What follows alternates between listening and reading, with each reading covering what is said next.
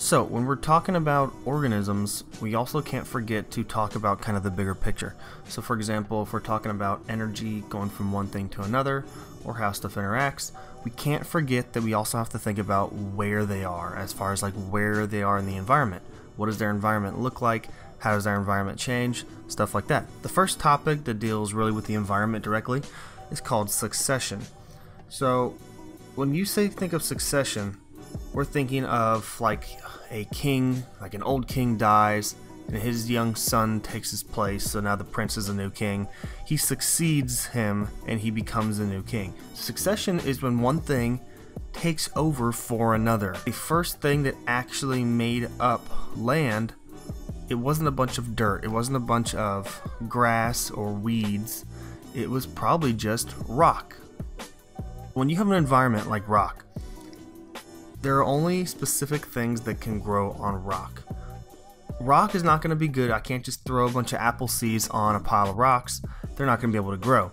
So something has to be able to grow on rock for this to kind of advance. Our ground looks like rock largely from volcanoes and all kinds of shifting of plates.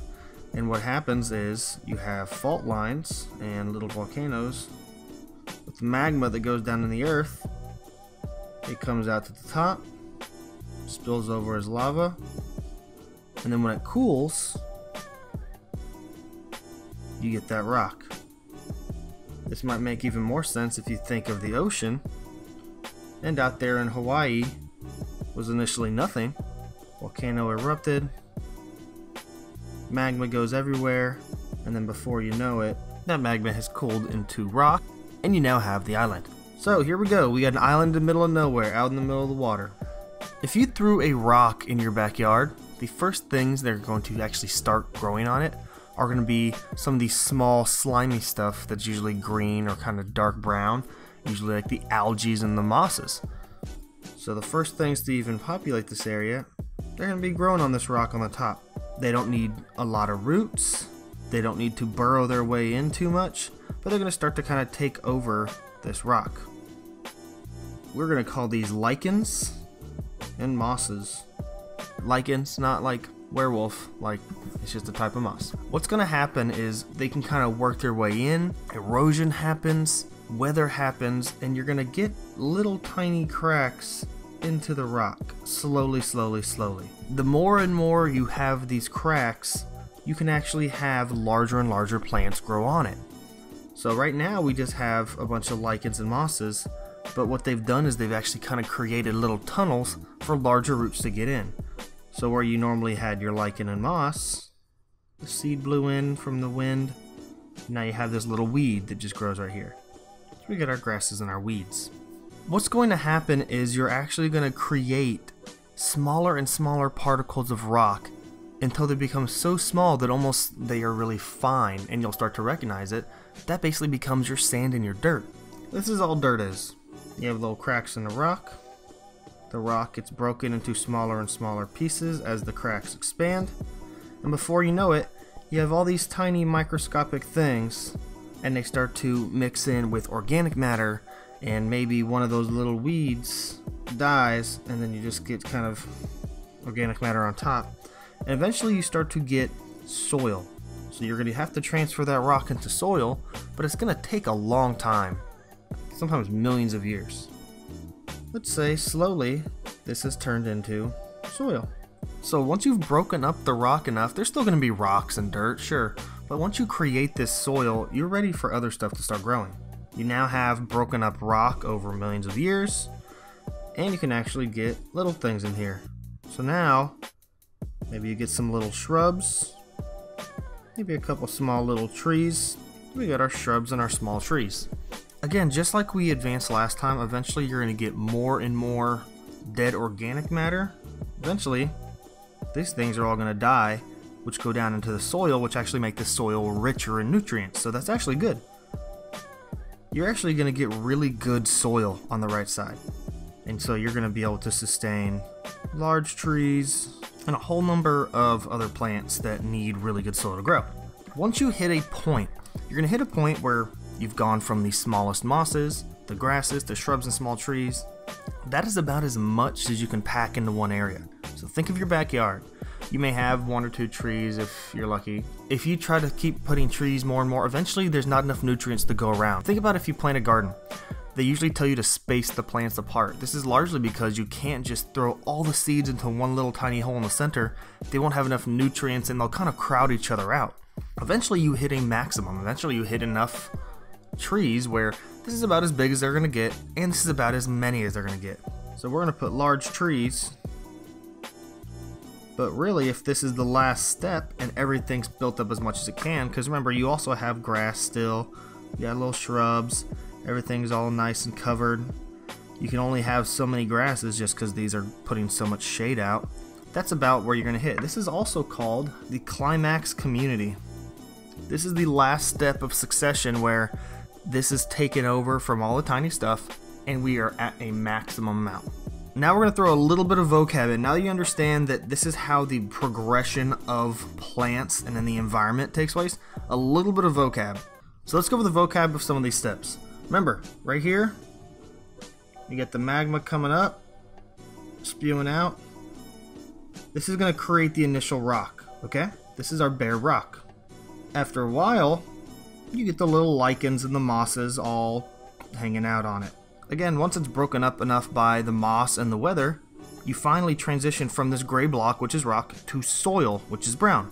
Now, we can get our grasses and our little weeds.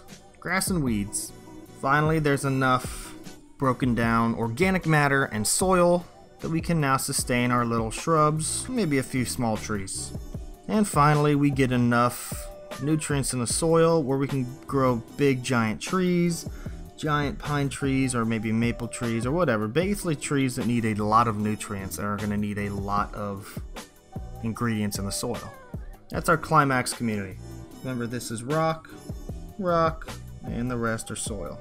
So you can see a pretty distinct cut where you can actually kind of be like, okay, well, there's, it almost looks like there's two categories of succession, and there actually are. First one's going to be right here. This is called primary succession this is starting from day one. This is starting from our first bare rock on. Primary succession means it's the first succession to take place. So when you're saying, okay, I need to start an environment out, I really can only start with two things. I can start with the rock being formed by lava, or by rock that was never exposed to air being exposed. Like, for example, if a glacier melts, you could almost say that's primary succession because that rock has never been exposed, and then the ice melts and kind of moves away, and now the mosses and the lichens can start to kind of infiltrate that area that has been completely bare of plants before. Primary succession is the first one. Now, you can actually kind of reset it where if you have a completely established climax community and a giant volcano goes off and wipes out the whole area and turns it to like lava rock, that's primary succession because now you have to start over. The other one is secondary succession. And this starts at this point right here. Secondary succession basically is going to start at the soil point. So primary succession is going to be rock, secondary succession is going to be soil. Secondary succession is actually going to happen a lot more than primary.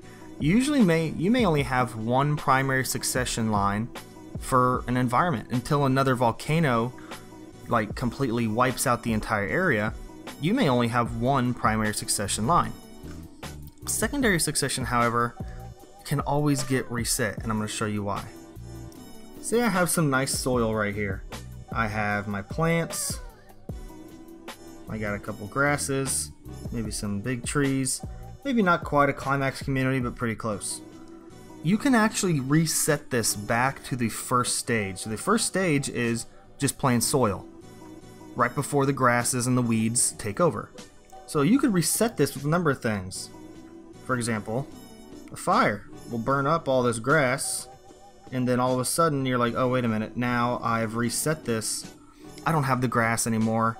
Maybe it wipes out that bush and that tree also. So all my plant life that was on top of my soil is now burned up and dead. But here's the thing did I revert to rock? No. I am still soil. Even though we burned up everything on top with a disaster, with fire, I mean, you can have all kinds of stuff. You can have hurricane, flood, fire, tornado, kind of plant disease. You could even have deforestation.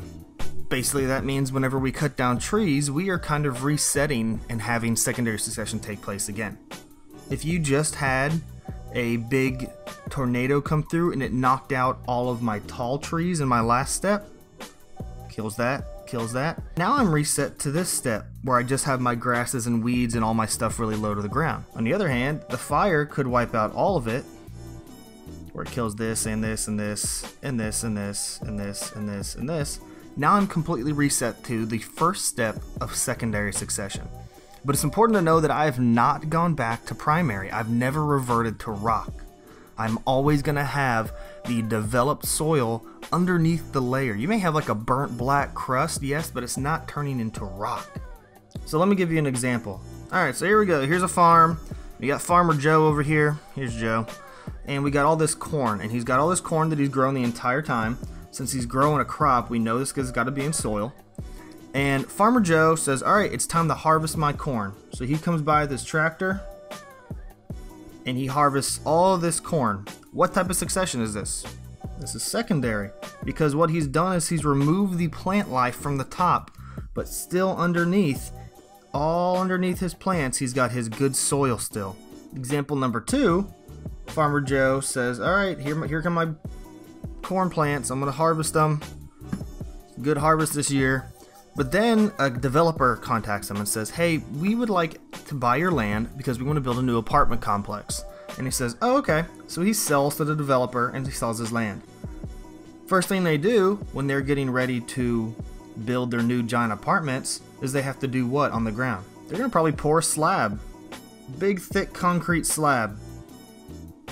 So, even though there's soil underneath, we no longer have the ability to just throw seeds on top. There's not developed soil. Concrete is hard for plants to grow from under and come straight up.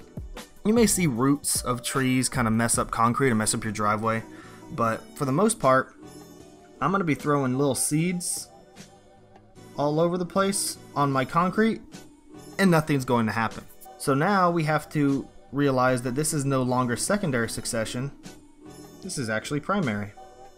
This is why when you see uh, post-apocalyptic movies like uh, I Am Legend or um, the Planet of the Apes movies, where it's like the cities are there, but they look like nobody's been there, so they're completely overrun. So they're like covered in vines and moss and stuff, and all the roads are broken up.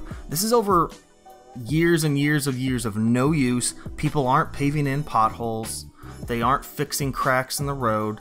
They aren't constantly traveling it. You may even like have just a person continue to walk in an area and it prevents succession from moving because you'll see little paths and grass sometimes where people like to walk off the paths or on the side of a road like off a sidewalk. They will see little paths where people walk because their feet constantly are pushing on the grass and it doesn't get to develop into bushes and craziness. So if we have Farmer Joe and then Farmer Joe over here gets bitten by a crazy person and is now a zombie and is like part of the zombie outbreak. So Farmer Joe and the rest of the humanity is no longer keeping up with this concrete. So over time, you're going to get your moss and your lichens, you're going to get some grasses, and eventually this is going to start to break up into your soil so the grasses and all the shrubs and everything can take root. That's pink. That's not right. Get your trees, shrubs. This all has to happen over years and years and years and years so that this soil can develop. There you go. Look at that. Primary succession. All because Farmer Joe sold his corn so they can pour concrete. Sorry, Farmer Joe. You guys are all dead. We're to do a quick little comparison between primary and secondary. So here we are. We got our rock with our lava, mosses and lichens, grasses, weeds, shrubs, small trees, and then finally our large trees in our climax community. Alright, so here's our quick comparison. First off, if you're going through primary succession and it gets reset, it goes to rock. Period. If you're secondary succession, you're already going to have established soil. That's probably the easiest difference that you can tell. Probably right off the bat, that's probably the easiest one to differentiate them. Primary succession be caused probably by the following. Volcano, you can put concrete in there, and maybe even a glacier melting. Remember, if the glacier melts, it can expose rock that has never been able to touch the air and grow the mosses and lichens. Secondary succession is going to be reset by all kinds of disasters tornado, hurricane, flood, lightning, fire. All that stuff is going to do a reset and move it back a couple steps. And finally, primary is a little bit rare. It may only happen once in an environment. Uh, it may only happen once in your lifetime, but a couple over time. Maybe every million years it happens. You may see it once and that'll be it. I mean, think of how many volcano eruptions you've seen on the news. I mean, really, the only ones a lot of y'all have seen is the Hawaii ones recently. That's probably it for y'all. You're like, oh wow, that's the only one I can remember. They don't happen very often because they reset the entire environment. Secondary succession is constantly changing. Every time you go outside and you pull a weed out of your garden or your parents pull it out of the mulch, that's secondary succession. Even pouring mulch could be kind of classified as secondary succession because you cover up all the organic matter, like the little weeds and the grass. You're trying to kind of smother them out and they die. And then you have to grow stuff on top. You don't want stuff to grow on top, that's what mulch is for. So you go and you pick the weeds as they go. And then you kind of fall into the disaster where the human and deforestation is the disaster. You're just picking weeds and resetting that environment.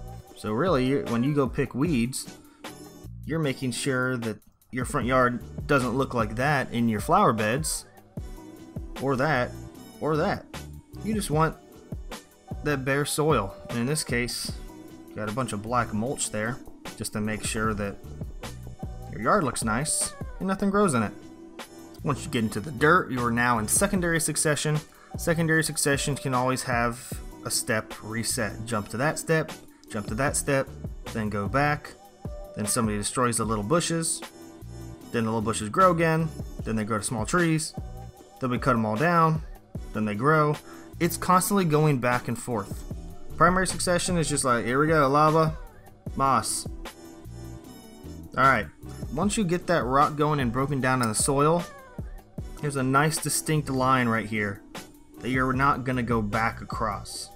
So anytime I give you something on the right of this line, on the right of this squiggly yellow line, that's all going to be in that secondary succession. There's no way that you can have it jump from a small shrub back to rock without the primary succession disasters of volcano, melting glacier, or, for humans, concrete. And remember, as these happen, the organisms are going to have to change and adapt. So, the whole time we're worried about energy and how organisms are surviving, they also have to worry about their environment and they have to worry about changing environments and surviving in that and adapting to that and being stronger in mutations and evolution. And this is where you start to click all these pieces back together because now you have all these problems for these species and they got to start figuring it out because if they don't, they're dead.